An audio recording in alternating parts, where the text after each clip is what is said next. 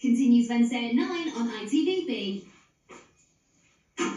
There is a brand new American Dad on the horizon tomorrow at 9.30. But right now we're off to Mordor for Lord of the Rings, The Return of the King, with scenes some younger viewers may find frightening on ITV2.